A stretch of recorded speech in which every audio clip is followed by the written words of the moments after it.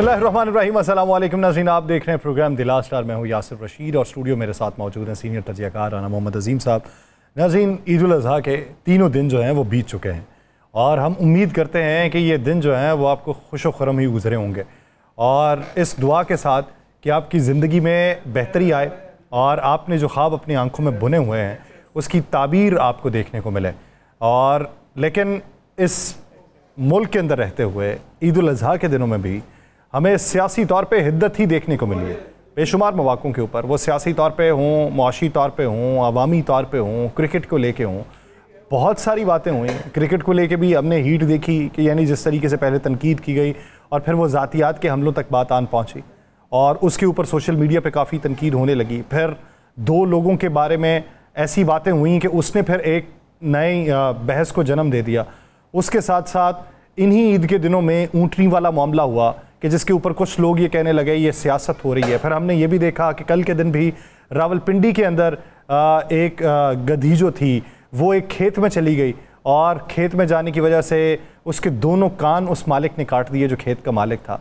यानी बहसीत कौम, क्या हम अपने जो मजहबी त्यौहार हैं, वो भी खुश खुरम या अदम बर्दाश्त, या हमें आगे बढ़ने के लिए कुछ और करने की ज़रूरत है? इन्हीं ईद के दिनों में हमने ये भी देखा है कि सियासी पारा भी हाई रहा। यानी बातें जो थीं, एक दूसरे को मुस्बत पैगाम देना चाहिए था, लेकिन उन्हीं दिनों में एक दूसरे को धमकियाँ भी देते हुए दिखाई दी। खैबर पख्तूनख्वा से धमकी मौसू हुई, पंजाब ने उसका जवाब दिया, विफाक को फिर से धमकी दी गई। आईएमएफ के बारे में बातें हुई और आज वजी अला खैबर पख्तूनख्वा ने ग्रिड स्टेशन जो है, वो विफाकी ग्रिड को जो मुंतकिल होती है बिजली, उसको भी बंद करने की धमकी दे दी। उन्होंने कहा, जी, अगर हमारे वाजबात नहीं दिए जाएँगे तो फिर हम आपको बिजली भी नहीं देंगे। ये सारी सूरत हाल है। कहाँ तक बात पहुँचेगी? कहाँ तक जाकर एक स्टॉप लगेगा? या क्वेश्चन मार्क कब हटेगा? इसी पे बात करते हैं राना साहब की तरफ़ पढ़ते हैं। राना साहब आज के दिन ईद के जो गुजशत दो दिन गुजरे हैं अवामी सियासी और माशी तौर पर कैसे पाए बसमीम वसलात वसलाम या सैदी या रसोल्लात वसलाम या सैदी या हबीब अल्लाह एक तो यासर मैं आपको ये बताऊँ कि आपको पता है एक सफ़ा ईद पे कुर्बानी कम हुई है। कम हुई? कम हुई। ये मैं नहीं कहता ये सरकारी अदादोशुमार कहते हैं। ज़ाहिर आपको नज़र आया कि बकरा नहीं मिला। आए ही कम। पहले से साठ फ़ीसद जानवर कम आया। लोगों की कुत ख़रीद भी नहीं थी लोगों के पास इतने पैसे भी नहीं थे कि वो पाल सकते। बहुत से जानवर पीछे सैलाब आया जब आपको पता है कि जी। वो क्या हो गया। एक तो ये कुर्बानी पहले से कम हुई और दूसरा अवाम की कुर्बानी तो ईद से बहुत पहले हो गई महँगाई की सूरत में, टैक्सों की सूरत में। और फिर जब ईद के रोज़ और ईद के दूसरे रोज़ ये कहा जाता है कि मुल्क को अच्छी सीधी सीमत पर जाने के लिए, बचाने के लिए हमें बहुत कुर्बानियाँ देनी पड़ेंगी। सब कुछ जो है वो नचकारी के स्पुर्द कर दिया जाएगा। ये किसी ने नहीं कहा कि नब्बे हज़ार से जायद सरकारी गाड़ियाँ जो हैं वो बेच दी जाएँगी। एकड़ एकड़ पर जो बने हुए हाउस हैं वो ख़त्म कर दिए जाएँगे। मुझे एक बात तो बता दें। एक एमएनए जो जीत के आता है जो करोड़ों रुपए खर्च करता है उसको क्या सरकारी रहश का मिलनी चाहिए? वज़ीर बनने के बाद? लेना अपनी यार। हल्के में जो पैसे लगाता है सब कुछ करता है तो ले एक रेंट पे घर। बेचें उन सारी जायदादों को बेचें उन सर, सारी सरकारी अमलाक को। करें जरा ये डीसी एसी एसएसपी डीआईजी ये ब्यूरोक्रेट्स बड़े बड़े इतने इतने बड़े घरों में रहते हैं। ये रेलवे के मुलाजमीन इतने इतने बड़े घरों में रहते हैं। देखा रेलवे वालों को घर आपने? जी जी अच्छे तरीके से। बेचे ना यार। आम आदमी अगर दो मरले तीन मरले पाँच मरले दस मरले में रह सकता है। इन्हें क्या आफत आती है भाई? वॉक की सहूलत घर के अंदर होनी चाहिए। ग्राउंडे किस लिए? बेचे इसको बेचकर पाकिस्तान का कर्जा उतारे। बेचे इसे बेचकर पाकिस्तान को उशाली की तरफ़ लेकर जाए। सरकारी गाड़ियाँ खत्म कर दें टोटल। नहीं काम करना किसी ने, नहीं किसी, कौन? मुझे मुझे आप दें बीस लाख, पंद्रह लाख तनहा तो मुझसे कोई गाड़ी ना दे। गाड़ी ना दे मुझे। मैं इतना भी फ़ोन नहीं कर सकता। ईद ईद कौन सी ईद यार? ईद ईद उस वक्त होती है जब आपको कल के मतलब ये पता हो कि कोई बात नहीं। मैं कल बड़े अच्छे तरीके से गुजारा कर लूँगा। जब आपको पता हो कि बना मैं आपको ये हकीकत बता रहा हूँ। मैं ईद वाले दिन तो मेरी तबीयत ख़राब हो गई। मैं कब्रस्तान से बाहर निकला तो मुझे एक सरकारी अस्पताल लेके या सर ये आपको मैं फैक्ट बता रहा हूँ। ये मेरे साथ क्यों? हम्म। उस सरकारी अस्पताल में साढ़े तीन घंटे साढ़े तीन घंटे मैं एक चेयर पर बैठा रहा। मुझे किसी ने कहा, तारफ़ कराते हैं। मैं कहा हर तारफ़ क्या कराना है यहाँ पे? किसको फ़ोन करेंगे? ये तो हुकूमत का फ़र्ज़ है ना। फिर वहाँ से मैं एक प्राइवेट हॉस्पिटल गया। कुछ दो घंटे वहाँ पे रहा, वहाँ से कुछ बेहतरी हुई फिर मैं घर चला गया। ये है मेरी, मेरे जैसे लोगों के साथ भी। आम आदमी को मैंने सफ़ेद पोश को मैंने देखा। ईद के दूसरे दिन कुर्बानी की तो हमने तकसीम करने के बाद गाड़ी में गोश्त रखा, काफ़ी लिफाफे। शोबर बैग अशरफ मजीद साहब मेरे साथ गए मैं था और मज़र था। हम बिल्कुल ये राइवल रोड पे कोच तकसीम कर रहे थे तो खुदा की कसम एक सफ़ेद पोश आया। बड़ा सोटेड बोटेड आदमी, कपड़े बड़े अच्छे या नहीं पहने हुए। पता उसने क्या कहा? मेरी नज़र इतना मैं इतना दे रहा था। उसने कहा, दो लिफाफे मिल जाएँगे? मैंने उसकी शक्ल देखी, मैंने दो की बजाय तीन बकरा दिए। और मैं घर तक रोता हुआ गया कि अल्लाह इस बंदे पे ये नौबत क्यों आई? ये हुक्मरानों का काम था, यासर साहब। ये उनका काम था। ईद पे इन्होंने कहा लोड शेडिंग नहीं होगी। ये आपको पता ना, ईद पे कितनी लोड शेडिंग हुई है?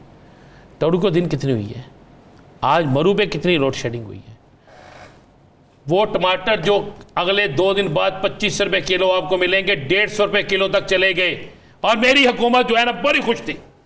हम बहुत ठीक थे। महँगाई बेकाबू, जराइम बेकाबू, बेरोजगारी बढ़ गई, चीज़ें महँगी हो गई। और आप यहाँ पे बैठ के भाषण दे रहे हैं तो तीन दिन आपके बड़े, पूछे ना लोगों से जाके, तीन दिन किस तरह गुजरे हैं? जाके देखें कितने घरों में ईद के रोज भी गोश्त नहीं पका। कितनी ऐसी मसाजिद है, मुझे तो अपने उलमा के नाम से भी गिला है, कि जहाँ पे फलस्तीन के लोगों के लिए ईद के रोज दुआ की गई हो। किसी सरकारी खुतबे में सुना आपने? किसी और चीज़ में सुना आपने? तो जब ये सारे हालात होंगे, गैस नहीं थी। लोग खाना क्या पकाते हैं? कुछ मैं अभी आपको ना, आपको बताता हूँ। मैं आपको रात का, आपका बात ये करते हैं ना, यासर साहब, आप बड़ी हमायत करते हैं कि बड़ा कुछ हो रहा था जी, गवर्नमेंट ने वादे, पता नहीं। आप, मैं नहीं कहता कि आप अल्लाह माफ़ करें, ये करते ये मैं नंबर आपको बोल के बताता हूँ कि मैं गुजशत रात हम पूरे इलाका अहले इलाका ये आपके साथ ही। सारे इलाके की लाइट की थी आप तो शायद वापडरोन में लगा के क्या लगा के?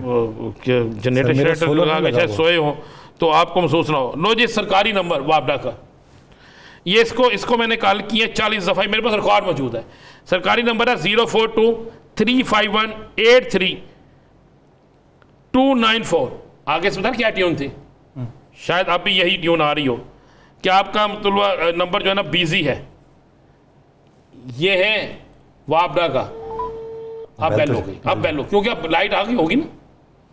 ठीक। ये नंबर। अब ये आपने अपने देखना है उठाते हैं। इधर गौर करना आपने। मैं नाजिन को इसलिए दिखा रहा हूँ कि ये देखे ना चेक कर लेना ताकि मेरी सरकार भी देख ले। ये है ये है नंबर उनका। उसके बाद मैंने किसी से कहा, यार एस टी ओ एक्सीएन का नंबर लें, लोग बेचारे रो रहे हैं. उन्होंने कहा नंबर दिया जी zero three seven zero four double nine one two seven zero उनके इस पर करें जनाब, फौरी तौर पर रिस्पॉन्स मिलेगा. मैंने कहा अच्छा जी। इस पर किया जी, अल्लाह के फजल कर फ़ोन ही बंद। फिर अगला नंबर पे किया जी, उन्होंने कहा, एक और नंबर लिखें zero three seven zero four double nine one two seven two आप कह रहे हैं, पूरी रात लोग बेचारे तो अब ये आपने देखा ना उनका लाइन रेंट नंबर जो है वो नहीं उठा रहे। आप कह रहे हैं फला एक काम किया इन्होंने सिर्फ़ एक काम सफ़ाई बेहतरीन की है। इसको मैं मानता हूँ। किसकी? खजाने की हो सफ़ाई ये ईद पे जो सफ़ाई होती है ना और कौन सी करनी? हमारी जेबों की सफ़ाई करके। करके जेबों की सफ़ाई भी टैक्सों में। करके खजाने की सफ़ाई भी। करके हर चीज़ की सफ़ाई भी। आप बात कर रहे हैं कि ईद के तीन दिन कैसे गुजरे? ये कहे कि ईद के तीन दिन किस हसीयत में गुजरे? सवाए ईद की नमाज़ के। जो रब्बे ताला के हजूर गिर गिरा के हमने दुआ की, अल्लाह इस मुल्क के लिए बेहतर कर दे। किसी सियासतदान के लिए दुआ नहीं की, इस मुल्क के लिए की। बिजली हमारी नहीं थी। पानी आ नहीं। बिजली होगी तो पानी आएगा ना। गैस है नहीं। और कोई चीज़ ही नहीं है। अगर किसी के घर गोश्त चला भी गया है, वो पकाएगा किस तरह धूप में रख दे? मुझे बता देना, जंगल में रहते हैं हम। मैंने कहा, एक काम बेहतरीन किया, सड़कों पे सफ़ाई थी, कोई शक नहीं। आज अब वो गंदगी नहीं थी, वो चीज़ें नहीं थी साइशें जो थी। लेकिन सफ़ाई के तो ये मास्टर है। हुक्मरान कोई भी हो, सफ़ाई का तो मास्टर होता है। चाहे वो जेबों की सफ़ाई कर जाए चाहे हजाने की सफ़ाई कर जाए चाहे किसी चीज़ की सफ़ाई कर जाए और आप लगे हुए यहाँ पे लेक्चर देने। हाँ एक चीज़ गलत हुई है जो खारा के साथ हुआ है। नहीं होना चाहिए। हमें इस हद तक नहीं जाना चाहिए। बिल्कुल नहीं जाना चाहिए। बिल्कुल नहीं जाना चाहिए। ठीक है दिल टूटा। हम्म। लेकिन अब हमें याद ही हो जाना चाहिए दिल तो हमारे रोज़ाना टूटेंगे। बल्कि हम टूट गए हैं यार दिल क्या टूटा? चिकना चूर हो चुके हैं हम। आप साबित बिल्कुल ठीक हैं। आप भी आप प्रोग्राम करते नहीं सोच रहे कि कल की करांगे। घर जाएँगे यार क्या करेंगे? आप इस पोजीशन में हैं कि बेगम बच्चों को घर लेकर किसी मॉल में जाएँ और जाकर खाना खा कर आएँ और आप कहेंगे यार मैंने एक हज़ार में दो हज़ार में कोई चीज़ खा ली है। कोई आइसक्रीम नहीं मिल रही है तो तुझे खाना खान लगे आफरीन। और रात को मैंने कहा चल यार लाइट नहीं आ रही ना। वाह निकलते हैं। अल्लाह की कसम एक चाट मसाले की प्लेट खाई है। तेरह सौ रुपया बिल दिया। चाट का सर। सर चाट एक कल ही खाती है। एक प्लेट? एक प्लेट तो मैं होकर पूरी परात खानी। कल पाँच सात तक आती मुझे वहाँ पे बंदा कहता है कहता है जी आप तो बड़े शादियाँ मंजूर के साथ कल प्रोग्राम में बड़े ऐसे ऐसे कर रहे थे। हाँ। मैं क्या यार वो तो सी हजूर तानू खुश करना से सिखा रहे थे। कि सानू भी कर तानू खुश करना से सी सानू भी करना भी करना पैदा तो यासर साहब इस मुल्क में हालात जो है ना वो उस वक्त बदलेंगे। जब इस मुल्क के सियासतदान अपने आप को बदलेंगे। जब इस मुल्क में ये फैसला हो जाएगा कि हमने अपने मुल्क की उन अमलाक को तो नहीं फरोहत करना जो हमारी सरमाया है हम उस अमलाक को फरोहत करें जो हम पर जो हमने अपने ऊपर मुसलत करके बल्कि इस कौम के ऊपर मुसलत करके जिसका खर्चा कौम देती है अयाशी हम करते हैं। मुझे एक बात बता दें आप कितने मरले के घर में रह रहे मैं रेंट के जो रेंट दस मरला दस मरला उसमें आपका आपको घुटन महसूस होती है? रात को नींद आती है ना? बेहतरीन तरीके से रह रहे हैं। ये क्यों नहीं रहते? पता है ना मुझे? इनके घर के आगे एक बड़ा लॉन क्यों होना चाहिए? रखे लॉन दे पैसे। यही खरीद ले। वहाँ पे जाके पता लगता है बैरून मुल्क फ्लैट खरीदते हैं फ्लैट। छोटे छोटे छोटे फ्लैट खरीदते हैं। कितने कितने डॉलर पाउंड रियाल दिरम वहाँ पे फ्लैट में रह सकते हैं। इतनी पैंती है किसी ने फिर आप कहते हैं, जी, राणा साहब इंज ना बोलिया करो। हद तक है, इज़्ज़त हो हिंदी है। हमारी कोई इज़्ज़त नहीं। इस ईद पे जो इस कौम के साथ सलूक किया गया है, उसकी कोई इज़्ज़त नहीं। जो सहाफ़ी शहीद किया गया है, उसका हिसाब कौन देगा? मेरी आके यहाँ पे वज़ीर इतलात कहती हैं कि मेरी वज़ीर अला छुट्टी के रोज़ भी काम करती हैं। अच्छी बात है, बहुत अच्छी बात है, भाई, वोट लिए हैं। इकतदार में हैं, हम भी छुट्टी के रोज़ काम करते हैं।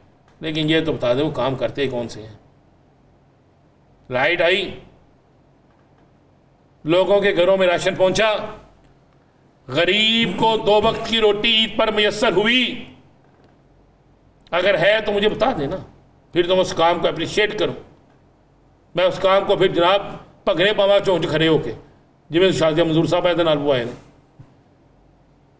तुम बड़े लुडी पाने वाला स्टाइल बनाया सी बात यह है कि फिर करें ना यासर साहब इस कौम को ना करें खुदा का वास्ता इस कौम को ना इसी पे रखा हुआ है शाहिद अफरीदी फलां शाहिद अफरीदी वर्सेस वो क्या यार मुझे जवाब देना इसकी कौम इस कौम को जवाब चाहिए कि अगर आम आदमी पाँच मरले के घर में रह सकता है तो यार मेरा सियासतदान सबको छोड़ दें यार सबको छोड़ दें आज बात ख़त्म कर देते हैं यहीं पे। जिनके लिए कुल कायनात बनी, रसूल पाक सल्लल्लाहु अलैहि वसल्लम। आप सल्लल्लाहु अलैहि वसल्लम कितने घर में रहते थे? कितने घर था? मैंने रोज़ा रसूल वसल्लम पे देखा ना घर। हज़रत अली करम वजह का घर कितना था? हज़रत अबू बकर सद्दीक रज़ी अल्लाह तु का घर कितना था? हज़रत उमर फ़ारूक रज़ी अल्लाह तु का घर कितना था? हज़रत उस्मान गनी, आज भी उनके नाम से सहावत चलती है। आज भी उनके होटल हैं, आज भी उनके पास सारा कुछ चल रहा है। बेशुमार जा रहा है। किस घर में रहते थे? हज़रत इमाम हुसैन रज़ी अल्लाह हज़रत इमाम हसन रज़ी अल्लाह कितने घर में रहते थे? साहब कराम रज़ी अल्लाह का कितना कितना घर था? हम तो उनके पाँव की खाक के बराबर भी नहीं हैं। हमें एक एक कमरे में तीन तीन एसी भी चाहिए। हमें एसी जब बंद हो जाए लाइट अगर खुदा न हाथ से चली जाए लगे उत्थे जाती नहीं। उत्थे जो भी जाती है ना कोई होर चीज़ ही जाती है। हलाल हो हराम हो ठीक है नहीं मुझे बताए ना जरा। जब जिनकी है जिनके पाँव की कदम कदमों के खाक के भी बराबर नहीं रसूल पाक सल्लल्लाहु अलैहि वसल्लम की। तो हम आजमाइशें करते हैं कि हमें बड़े कर दें। लाएँ इन हुक्मरानों को शौक है। इन्हें बिठाएँ उन छोटे छोटे घरों में। एक पाँच मरले का घर दे दें, दस मरले का घर दे दें। खत्म करें इनसे ये गाड़ियाँ, अपनी गाड़ी इस्तेमाल करें। अपना पेट्रोल लगाएँ। मैं फिर पूछूँगा, इस मुल्क में एक पैसे का भी कर्जा रहता है? ये कौम फिर आगे होके कहेगी हाँ हम अपने पत्थर पेट में बांधने के लिए तैयार हैं। इसलिए कि मेरे हुक्मरान, मेरे सरकारी अफसरान, वो भी पत्थर बाँध रहे हैं। लेकिन वो तो सानू पत्थर मारन डे ने। राना साहब, हुक्मरान तो हैं ही, लेकिन मिन हैसल कौम हमारा किरदार क्या है? यानी फैसलाबाद के अंदर आज जो वो माना वाला में, यानी हम एक तरफ़ ऐलान करते हैं कि हम बाइकआउट करेंगे। मैंने ये देखा है कि पाकिस्तानी मसनूआत ढूंढते फिरते थे ईद के दिनों में, वहाँ पे। उन्होंने दो तीन ब्रांड जो पाकिस्तानी थे, उसको प्रमोट करने की बात की। मजमू तौर पर उनकी सेल में भी कमी वाकई लेकिन वो ज़ख्मी सड़क पर पड़ा हुआ है। और आप वही मसनूआत उठा के घर लेके जा रहे अच्छा इस पर हम पूरी कौम को ज़िम्मेदार ना करार दें। ये भी इस, इसके ज़िम्मेदार भी सियासतदान है हुक्मरान है। हमने ये नौबत क्यों आनी थी? हमने अंदर इतनी बेबसी क्यों आवाम के पैदा कर दी? ये तो मुझे बताएँ ना। या सर ये बेबसी क्यों पैदा होगी? ये हालात क्यों पैदा करती है? इन हालात के पीछे कौन है? मेरे मुल्क में जराइम का हाथमा किसकी ज़िम्मेदारी है? हुकूमत हमारी इसलाह करना किसकी ज़िम्मेदारी है? हुकूमत की। हमें सहूलतें देना किसकी ज़िम्मेदारी है? हुकूमत की। तो देता कीजिए फिर? आप बार बार कहते जा रहे हैं हुकूमत की फिर ये भी हुकूमत की ज़िम्मेदारी है ना? वो क्यों हम इस इस इस आलम में आ गए कि एक आदमी तरफ़ रहा है हम चीज़ें छीन के ले जा रहे हैं इसलिए कि हमारे पास वो चीज़ नहीं है। हमें पता है कि कोई तो हमें चीज़ मिलेगी। हमें पता है कि हमें छीननी पड़ेगी चीज़ मिलेगी। मुफ़्त की चीज़ मिलेगी। इस पे इस पे वैसे तो आपने मुलजम पकड़ना हो। तो आप उस तरह से निकाल लाते हैं जिस तरह से कोई सोच नहीं सकता। ना पकड़ना हो तो ना पकड़ना हो मेकअप तो, पे भी डाल दिया जाता। फिर टेलीफोन ही बंद हो इंदने पता चलता किसी और जगह चले गए। ये दो दिनों में वो ऊँटनी के वाक़े के ऊपर जो आप नज़र में रखिएगा। बिल्कुल मैं मेरे आलम उलमा कराम को चाहिए था इस पर बोलना। और ईद के खुतबात में इस बात का ज़िक्र करना चाहिए था। हज़रत साले अलैहिस्सलाम के वाक़े उस ऊँटनी के वाक़े कदमत है ना। जी सभी को मालूम। क्या हम उस तरफ़ जा रहे हैं? मुझे बताएँ किसी सियासतदान का आपने बयान देखा है? देखा आपने बयान? सिर्फ़ गवर्नर सिंह लगे हुए हैं गवर्नर सिंह सियासत है ना? जब ये सोशल मीडिया पे ना आता जिससे ये सोशल मीडिया क्या ये टीवी पे आया सोशल मीडिया से पहले? नहीं ये सोशल मीडिया पे आया और फिर टीवी पे गया। फिर जाके जनाब सारे गवर्नर साहब को भी ख्याल आ गया। क्या ये ये है कि उसकी जगह दो ऊँट दे दो? हम्म। तो उसके बस मुआवजा दे दो। ये है। लाओ फिर किसी की देते हैं। उसे कहते हैं जनाब इसके एवज आपको पैसे दे देते हैं। हम्म। अगर जुर्म की सज़ा ये है हम हम उस तरफ़ जा रहे हैं उस तरफ़ जा रहे हैं जहाँ पे हमारी तबाही है। और दुआ करें हम इस तरफ़ ना जाएँ। हमने आधा रास्ता कर लिया। यहीं से वापसी का रास्ता लेते हैं। कभी कभार हम आगे की तगोदो करते हैं कि आगे बढ़ना।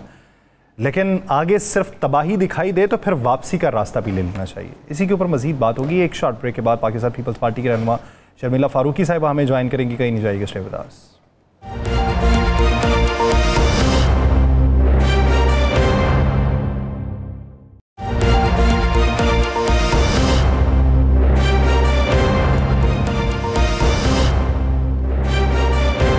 ब्रेक के बाद खुशामदीद नाजीन सियासी मामले के ऊपर अगर नज़र दौड़ाई जाए तो इस वक्त बजट की जो मंजूरी है, उसमें पाकिस्तान पीपल्स पार्टी तहफात का शिकार है। लेकिन दूसरी तरफ़ एम क्यू एम जो है, वो ये कहती है कि हम सिंध का जो बजट है, उसे मुस्तरद करते हैं और विफाकी बजट के ऊपर हमें तहफात हैं। यानी इतिहादी अगर आपस में ही तहफात के शिकार हैं तो बातचीत फिर किस पैराए के अंदर हुई और किस सतह पर हुई? अगर तमाम अफराद को अतमाद में नहीं लिया गया इतिहादियों को ये अतमाद में नहीं लिया गया तो अपोजिशन के जो सफारिशात हैं, फिर उसके ऊपर अमल दरामद किस तरीके से होगा? ये एक बुनियादी सवाल है। इसी बारे में बात करने के लिए हमें ज्वाइन किया पाकिस्तान पीपल्स पार्टी के रहनुमा शर्मिला फारूकी साहिबा ने। शर्मिला साहिबा, बहुत शुक्रिया आपके वक्त का। शर्मिला फारूकी साहिबा, आप कहा ही जा रहा है कि बजट पर पाकिस्तान पाकिस्तान पीपल्स पार्टी की हुकूमत से मुजाकर जारी हैं। लेकिन जो तहफ़ात हैं, क्या उसके ऊपर अमल दरामद होता दिखाई देता है? जी, बहुत शुक्रिया। देखिए जी, मैं समझती हूँ कि मामला डायलॉग के ज़रिए हल हो सकते हैं। अभी भी वक्त है और बजट के पास होने में कुछ दिन बाकी हैं। पीपल्स पार्टी के जो तहफात हैं पब्लिक सेक्टर डेवलपमेंट के हवाले से उनको एड्रेस किया जा सकता है। इस बजट के अंदर कुछ ऐसे क्रिटिकल इश्यूज़ हैं जिसके ऊपर पीपल्स पार्टी के तहफात हैं उनको भी एड्रेस किया जा सकता है। अभी बजट पास नहीं हुआ पास होने में वक्त है। हम्म। और ये वक्त इसलिए दिया जाता है कि तो सेनेट की कायमा कमेटी भी इजलास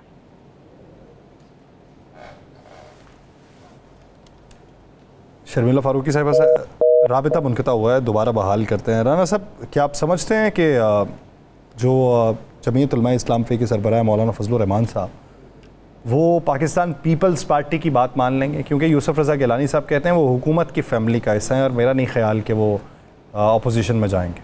देखिए मेरी जो मौलाना साहब के बड़े करीबी लोगों से बात हुई है जिस पे वाज तौर पर इनकार कर दिया हुकूमत के साथ जाने से? हाँ जी बिल्कुल। उन्होंने कहा जी हम किसी सूरत भी हुकूमत के साथ नहीं जाएँगे।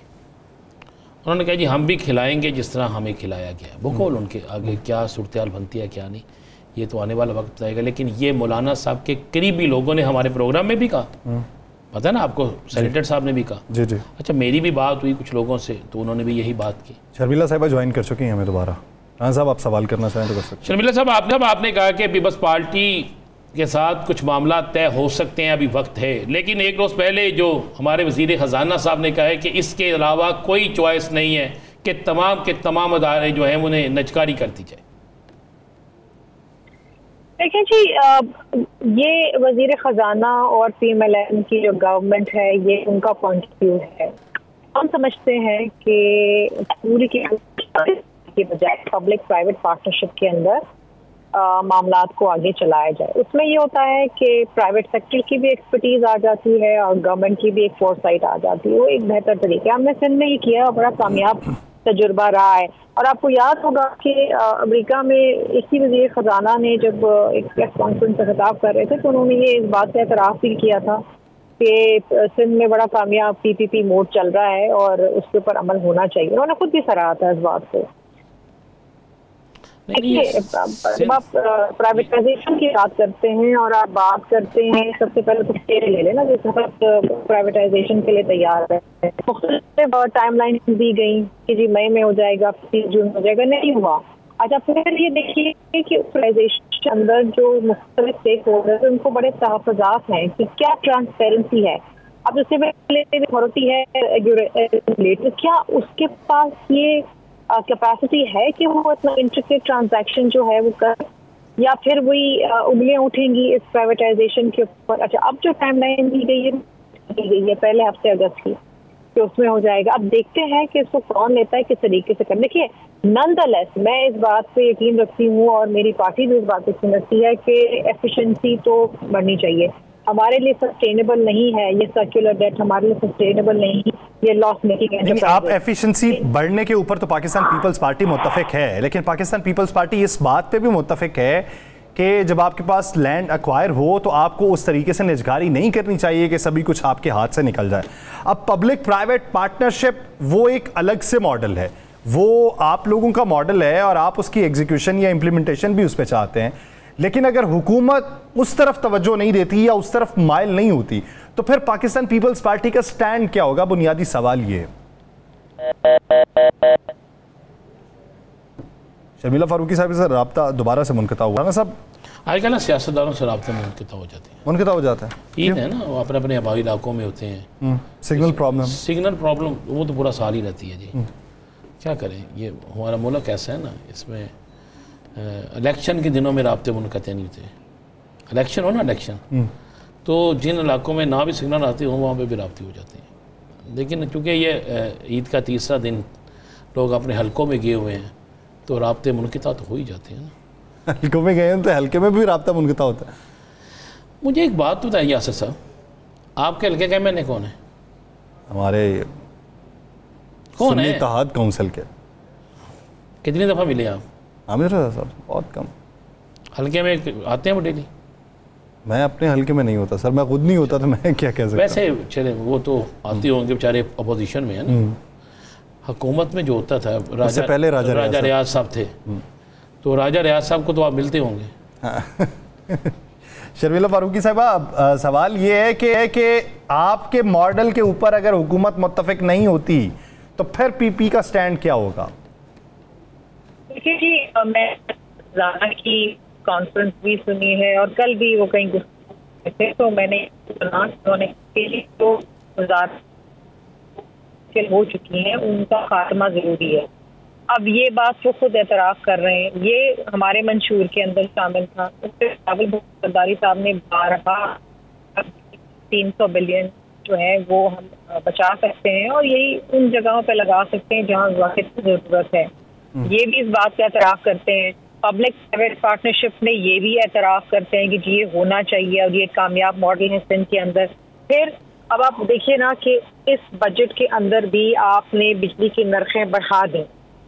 अब वो बिजली की नरखें जो बड़ी हैं, वो बर रास्त हर तबके के सार्फिन को अफेक्ट करेंगे। बिलखसूस जो लोअर इनकम ग्रुप के लोग हैं। ठीक है। फिर आपने जो तनख्वाहदार तबका है, उसके ऊपर मजीद आपने टैक्सेस का बोझ डाल दिया, जबकि वज़ीर खजाना साहब ये कहते हैं कि हर तबके को टैक्स देना है और टैक्स इक्विटेबल होना चाहिए। तो इस स्टेट में तो काफ़ी नहीं की जाए। टैक्स इक्विटेबल तो नहीं है। वही तबका बार बार ज़्यादा से ज़्यादा टैक्स दे रहा है, जो ऑलरेडी डॉक्यूमेंट्री बिज़नेस हैं या सारी क्लास आपने टैक्स नेट तो नहीं बढ़ाया आपने ताजर दो स्कीम शुरू करी जिसके अंदर तीन करोड़ साठ लाख ताजर हैं पूरे पाकिस्तान में। उसमें से रजिस्ट्रेशन कितनी की हुई है? इकतीस हज़ार की। इस हिसाब से तो अगले दस साल लग जाएँगे हमको। इस तरीके से तो मामला चलेंगे ना। बात ये कंप्लायंस गवर्नमेंट अगर कोई आ, स्कीम लाती है या कोई चीज़ है कि उसे करनी है तो उससे कंप्लायंस भी तो गवर्नमेंट ने करना है ना। आपने छोड़ के लोगों के उसकी मर्ज़ी है। अब आप मुझे बताइए कि वज़ीर खजाना कहते हैं कि जो इन्फेंट मिल्क है उसको जीएसटी लगा दिए। वो कहते जी ये तो आपको पता कौन पीता है दूध? तो अमीर आदमी का बच्चा तो पीता ही पीता है लेकिन गरीब का भी बच्चा पीता है। वो तो वास्तव तबके का भी बच्चा पीता है। लोअर इनकम ग्रुप वाले भी पीते हैं। वो तो इसका गुजर बसर कर ही सकते। इस मुल्क में जहाँ पर 40 percent children are mentally physically stunted malnutrition की वजह उस मुल्क में आप दूध के ऊपर भी टैक्स लगा रहे हैं। ये कहाँ की मनता कितने का हाँ मत कुछ भी नहीं है। आप आज मैं पढ़ रही थी कि असम के जो चीफ मिनिस्टर है इंडिया में हम्म। उन्होंने कहा जी वीआईपी कल्चर खत्म कर दो। सारे वज़ीर सब जो है वो बिजली के बिल देंगे। हमारे मुल्क में जहाँ पर आपका बजट हफ्तारे के अंदर है जहाँ आपने अगले साल भी आठ हज़ार पाँच सौ बिलियन कर्जे के अंदर लेने हैं ठीक है? उस मुल्क के अंदर क्यों नहीं प्राइम मिनिस्टर शुरू करते कि बिजली का बिल देना शुरू कर दें? सारी काबीना बिजली का बिल देना शुरू कर दें। क्यों है माफ़ इनको लिए? अगर एक गरीब आदमी जो है बिजली का बिल आप उससे लेते हैं तो फिर काबीना क्यों नहीं देती है? वज़ीर आज़म क्यों नहीं देते? I am sure they can all afford वो मेरे ख्याल से इस वक्त ट्रैवलिंग में है जिसकी वजह से मुनकता हुआ है। राना साहब बात कहाँ पे ख़त्म होती दिखाई देती है पीपल्स पार्टी वाली? वोट देंगे। वोट देंगे। सब कुछ होगा। मैं कह रहा हूँ सब कुछ होगा। यानी कोई तब्दीली नहीं देखते कुछ नहीं होगा। इनकी सिफारिशात के ऊपर कोई एक भी तब्दीली नहीं। जिनसे मैं मैं कह रहा हूँ वो खुद कहते हैं हमसे पूछा नहीं गया। जिनसे बजट बनाते टाइम नहीं पूछा गया। तो आप मुझे बताएँ उनकी सिफारशात पे अमल होगा? उन्होंने इसाक डार साहब बाहर निकल के कहते हैं कि कौम को बड़ी खुशखबरी दे रहा हूँ। पीपल्स पार्टी इजलास में जाने बेशक अलामती तौर पर जाती है। चली जाती है। हम्म। पंजाब में भी ऐसा ही होता है। हम्म। पीपल्स पार्टी के रहनुमा कहते हैं कि हम सियासत को जमहूरियत को ख़त्म नहीं होना देना डिरेल नहीं होना देंगे। तो बजट तो मंजूर करवाना पड़ेगा ना। तो मौलाना के हवाले से जो आप राय रख रहे थे? मौलाना हुकूमत के साथ ले जाएँगे। मौलाना क्या अपोजिशन जमातों के इतिहाद में आएँगे? इतिहाद में आए या ना आए मौलाना हुकूमत के साथ ले जाएँगे लिख लीजिएगा। सब की एक एक ड्यूटी है सब एक एक ड्यूटी कर रहे हैं। सब अपनी अपनी ड्यूटी कर रहे हैं और कब तक? हुँ? हम्म? कब तक? जब तक हमें होश नहीं आता। पंजाबी का एक फ़िक्र है कहावत है ना सच आखा ते भजन खाखा डरदी सच ना आखा। इसलिए मैं भी चाहता हूँ कि वो ना ही। कहूँ लेकिन समझने वाले समझ जाते हैं सुनने वाले सुन लेते हैं लिखने वाले लिख लेते हैं जानने वाले जान लेते हैं। यासर साहब अगर किसी की ड्यूटी नहीं लगी हुई तो वो जेल में है। और वो सबको ऐसी ड्यूटियाँ लगा रहा है सबकी कि सब भी जो है वो परेशान है कि कर की रहे तो वो मुलगीर तहरीक चलेगी। कैसी देखते हैं कि उसमें क्या हडल्स हो सकती हैं? हडल्स बहुत सी होंगे सारा कुछ होगा लेकिन शायद उस तहरीक से पहले कई और तहरीकें ऐसी चल जाएँ जिससे सिर्फ़ धक्का लगाने की ज़रूरत पेश है और धक्का तो लग ही जाता ना। सारी खबरें आज ना ना लें अभी हमने तीन दिन और भी प्रोग्राम करना है यार। ब्रेक ले लेते। हाँ जी बिल्कुल ले लें जी। एक ब्रेक लेते हैं। ब्रेक लेने के बाद वापस आगे इश्यूज़ के ऊपर बात की जाएगी कहीं नहीं जाएगा शिवदास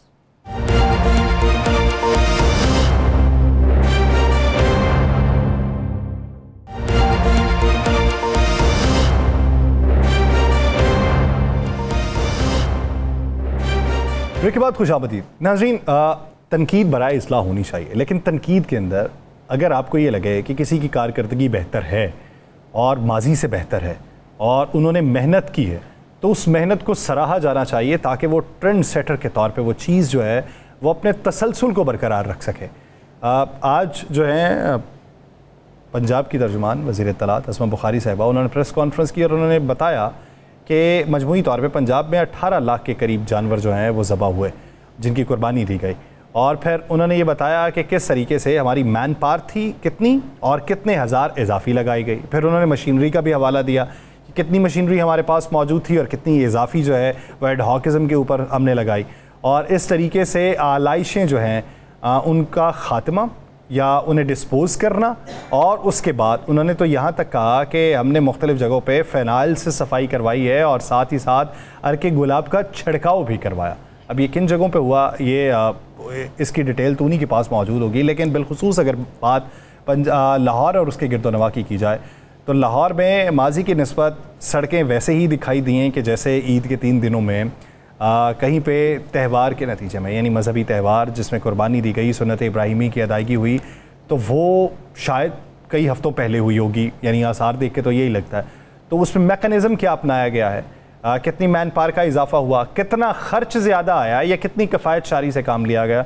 इसी बारे में बात करने के लिए हमें ज्वाइन किया है लाहौर वेस्ट मैनेजमेंट कंपनी के सीईओ बाबर साहब दीन साहब ने। बाबर साहब बहुत शुक्रिया बहुत शुक्रिया आपके वक्त का। बाबर साहब पिछले साल की नस्बत इस साल की अगर बात की जाए तो सबसे पहले तो आपको खराज तहसीन पेश करना चाहते हैं कि ये जो काम आपने सफ़ाई के हवाले से लाहौर में किया राना साहब उससे पहले ये बात कर रहे थे कि काम दो ही लोगों ने किए हैं। एक वेस्ट मैनेजमेंट ने किया है सड़कों की सफ़ाई का और दूसरा हुकूमत ने किया है जेबों की सफ़ाई का। तो चले, आपके पास क्रेडिट तो मौजूद है। तो पिछले साल की नस्बत, इस साल किफ़ायत शारी अपनाइए, ज़्यादा खर्च हुआ। जी बिस्मिल्लाहिर्रहमानिर्रहीम जी पहले तो तमाम सुनने वालों को मेरी तरफ़ से भी ईद मुबारक। मैं ये कहना चाहूँगा कि लाहौर में इस दफ़ा हुकूमत पंजाब के सुथरा पंजाब विजन के तहत एग्जाम्पलरी जो है वो सफ़ाई का हमने निज़ाम बनाया था। हमने special 291 camps field camps establish किए थे हर यूनियन काउंसिल के अंदर जो लोगों से इंटरेक्ट करते थे। 105 कलेक्शन पॉइंट्स थे। 4000 के करीब मशीनरी जो है वो डिप्लॉय की गई थी इसमें। और हमारी टीम ने बड़ी मेहनत से काम किया। हेडक्वार्टर के स्टाफ को भी हमने जोन्स डिवाइड किए हुए थे। वो पिकअप्स के साथ मूव कर रहे थे और जहाँ नज़र आती थी उसे कलेक्ट किया जाता था। तो टीम ने बड़ी मेहनत से काम किया है। हुकूमत का विजन था और इस विजन को हमने इम्प्लीमेंट भी किया है। और इसमें एक बड़ी अच्छी बात यह है कि जो हमारा बजट हम इसके ऊपर स्पेंडिंग होती है, वो तकरीबन उतनी थी जितनी लास्ट ईयर स्पेंड किया गया। मोर एफिशिएंटली हमने काम किया है। I think it was more of the effort और बेहतर टीम कोऑर्डिनेशन जिसकी वजह से बेहतर लीडरशिप गवर्नमेंट का विजन जिसकी इम्प्लीमेंटेशन थी, बड़ी स्ट्रांग मॉनिटरिंग थी। हमने अपने डिजिटल सिस्टम्स बनाए हुए हैं जिसमें हम एआई के थ्रू मॉनिटर कर रहे हैं। इवन सी एम साहिबा खुद जो है वो सेफ़ सिटी के कैमराज के थ्रू मॉनिटरिंग कर रही थी। तो ये सारी एफर्ट थी जिसकी वजह से ये हुआ है और हमें बड़ी पॉजिटिव फीडबैक मिली है। मीडिया से भी बहुत पॉजिटिव मिली है और पब्लिक से जो मैसेजेस आ रहे हैं आई थिंक वो I am very thankful to all the public जो सारे इस, हमारे इस एफर्ट्स को अप्रिशिएट भी कर रही है। बाबर साहब, कोई शक नहीं मैं तो फिर मैंने आगाज़ में कहा कि आपने वाकई सफ़ाई की और सफ़ाई के निज़ाम को बेहतरीन बनाया। कोई शक नहीं कि चंद एक जगह होंगी मसावती जहाँ पे हम कह सकते हैं कि शायद उस तरीके से ना किया गया हो, लेकिन अस्सी फ़ीसद से ज़ायद जगहों को बिल्कुल क्लीन किया गया। इस बात को हम भी मानते हैं। लेकिन एक चीज़ तो हम जानना चाहते हैं कि ये तो हो गया ईद के मौके पर। ये कब होगा जब सदा ही ये सिस्टम रहे कि वाकई साफ़ सुथरा लाहौर साफ़ सुथरा लाहौर रहे जी इस, इसमें ऐसा है कि अभी भी लाहौर में सफ़ाई के निज़ाम को बहुत इम्प्रूव किया गया है पिछले चंद माह में भी। और अब एक ग्रैंड प्लान है सुथरा पंजाब के नाम से जिसके तहत पूरे पूरे पंजाब में तहसील वाइज अर्बन और रूरल एरिया की पब्लिक प्राइवेट पार्टनरशिप के तहत जो है वो इस काम को किया जाएगा। तो वो आई थिंक उसमें दो से तीन महीने लगेंगे उसको इम्प्लीमेंट होने में।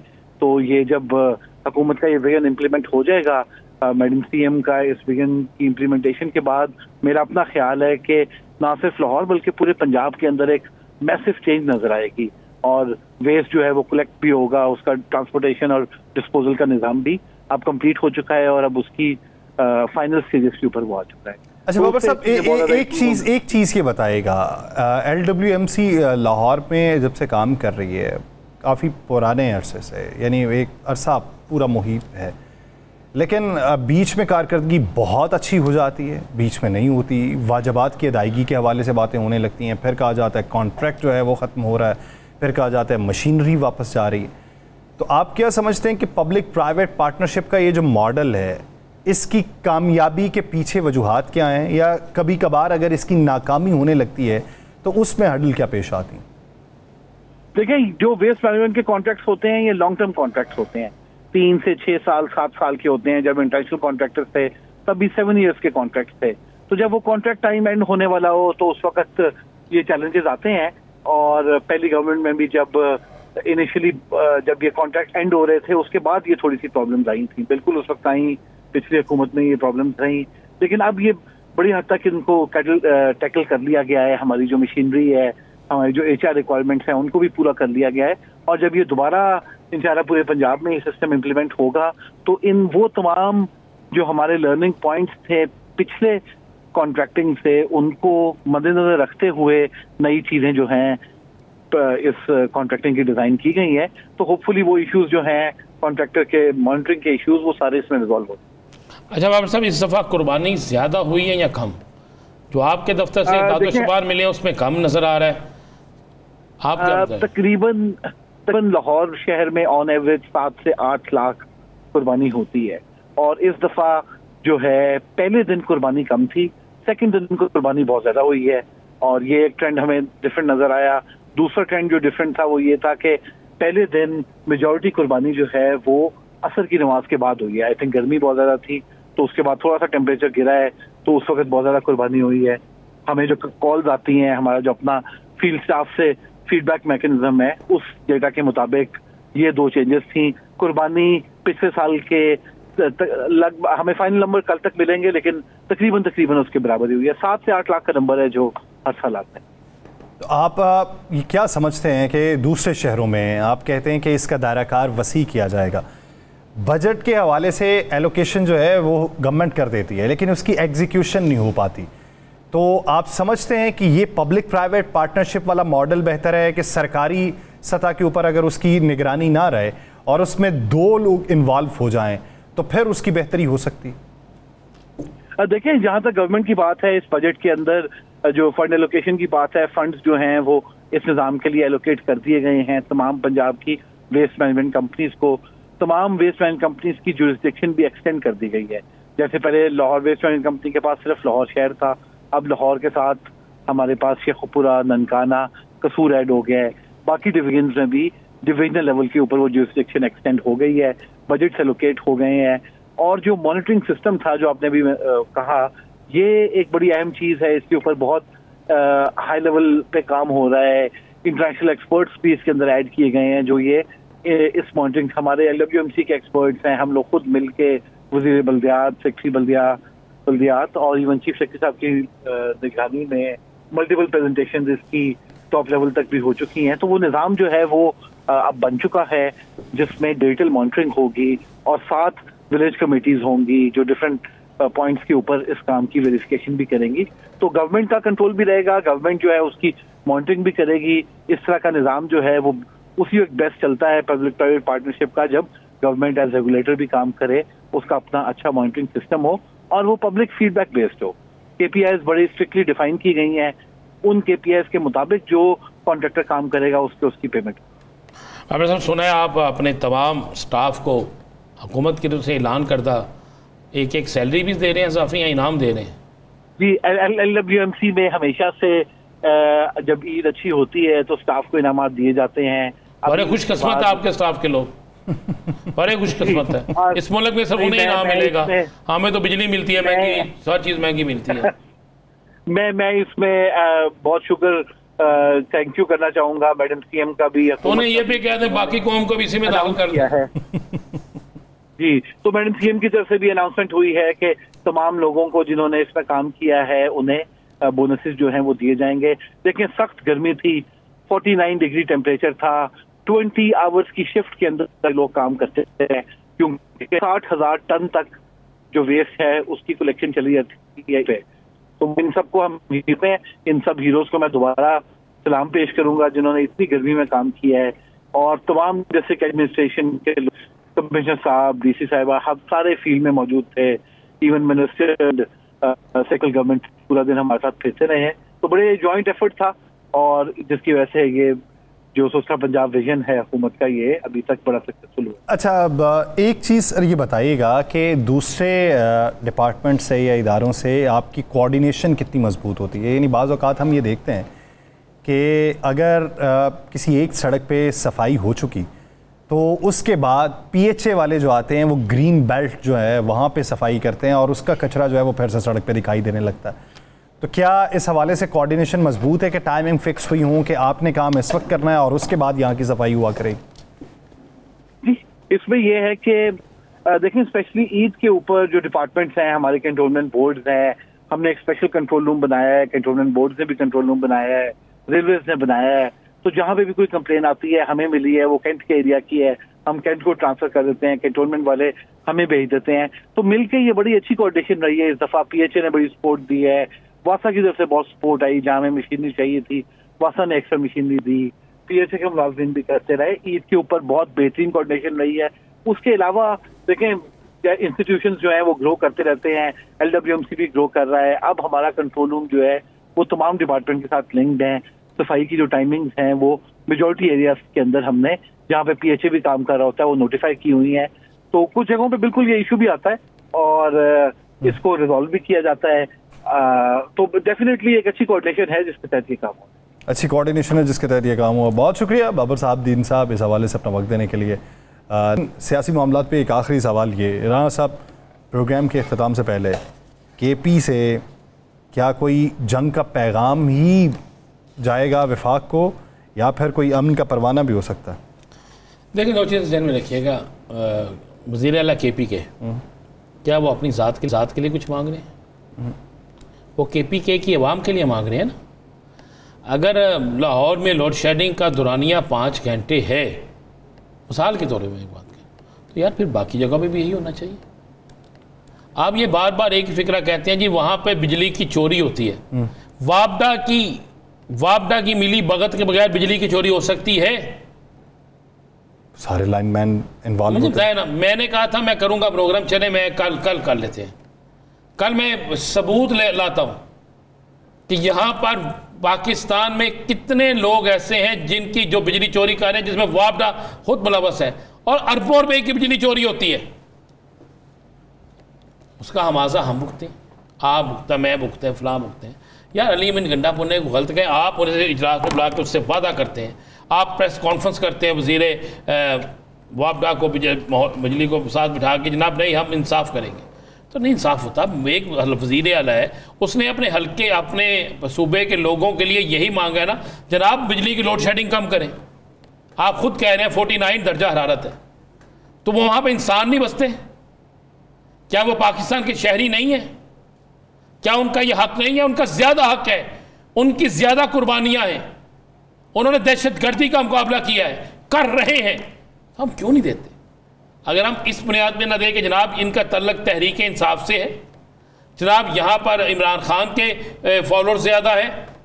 वो तो पूरे पाकिस्तान में अगर आप इंसाफ के तकाजे पूरे करते हुए देखें तो। यानी आप इधर भी ज़्यादा करवाना चाह रहे हैं? सारे नहीं नहीं नहीं मैं एक बात कहता हूँ ना इधर यार जिन्होंने जुनन करनी है मैंने तो अभी आपके सामने हमने प्रोग्राम में फ़ोन मिलाया ना उठाया नहीं।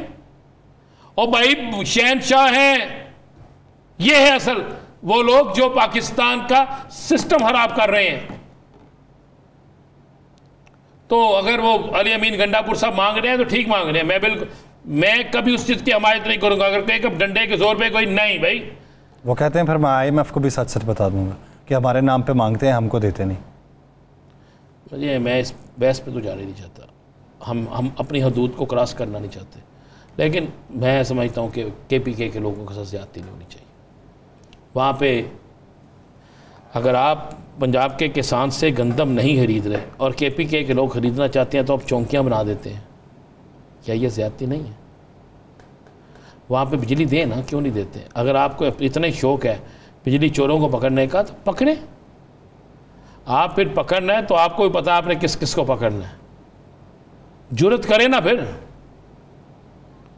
फिर वहाँ वहाँ ज़रूरत करें जहाँ करनी चाहिए। वहाँ आपकी ज़रूरत नहीं पड़ती क्योंकि वो आपके अपने हैं।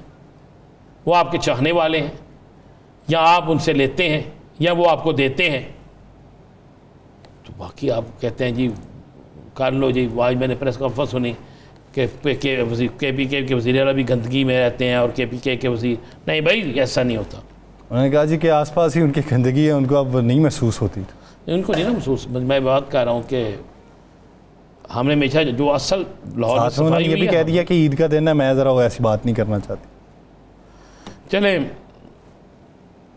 एक जमात है ना जिस तीसरी दफ़ा वहाँ पे इकतदार में आई है। हम्म। कुछ किया है ना उसने? किया है ना? हम्म। आज तक की हिस्ट्री बदली है ना उन्होंने? के पी के में दूसरी दफ़ा कोई जमात नहीं आती थी। तो कुछ ना कुछ तो है ना यार। ना ज़्यादा कर रही है ज़्यादती कर रहे हैं। मैं आपको बिल्कुल ठीक कह रहा हूँ। और अलीमीन गंडापुर ठीक अपनी बात पे बिल्कुल अलीमीन गंडापुर अपनी बात पे ठीक है और विफाक को वो यही करेंगे देखते हैं कि उस जवाब का विफाक की तरफ़ से क्या जवाब आता है। नाजीन आज के प्रोग्राम का वक्त खत्म हो जाता है। मुझे राना साहब को दीजिए इजाज़त अपना बहुत सा ख्याल रखिएगा। अल्लाह के बाद